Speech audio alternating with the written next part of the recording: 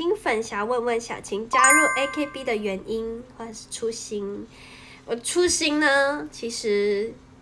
就是一个非常简单的故事，就是喜欢 AKB，然后就很憧憬想要成为偶像。我以前就是真的很喜欢日系偶像，然后。第一个吸引到的是早安，可是后来真的是有在犯的，真的是 A K B。然后我就是 A K B 的粉丝，然后很憧憬他们在舞台上是闪闪发光的样子，所以就是想要跟他们成为一样的存在，所以就想要加入 A K B forty eight。然后那时候刚好他有开甄选，就觉得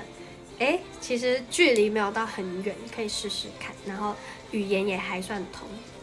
所以就试试看。我还没有报名之前，其实我也有在做，就是也不是做，就是因为像翻跳团体嘛，就是我有翻跳 AKB 的歌，然后有就是报一些小舞台，然后那时候就觉得自己很想要，不是单单的。Cover 这样子，就是很想要真的成为那种偶像，除了模仿以外，就是更多的是以自己出发，就是怎么去跳这首歌的那种感觉，就是不像是模仿一个成员，而是就是我真的在跳这首歌的感觉，就我很想要成为这样子。然后第二个就是，就我觉得偶像的影响力很大，就是今天我真的会因为。看一个舞台，他根本就没有跟我讲什么人生道理，他也不是鼓励我，但我就是看了这个舞台，我觉得他很有感染力，然后而让我得到了一些元气，或者是很开心，甚至是心动吧。我觉得就是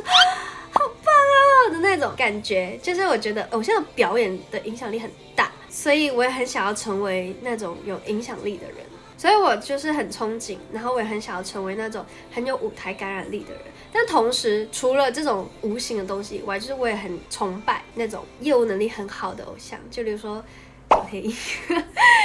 但小黑鹰就是早上上你做的，就是他真的是唱歌很好，然后跳舞也很好，然后很努力，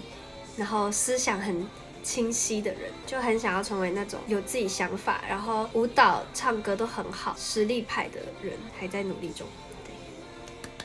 哦，还有一件事，是我觉得 A K B 的前辈们的节目给我的感觉是那种很有趣，就是不只有光鲜亮丽，就是很有趣。然后所谓的养成系嘛，你会想要跟他一起成长，所以我觉得很吸引了。对，就是很喜欢，很憧憬。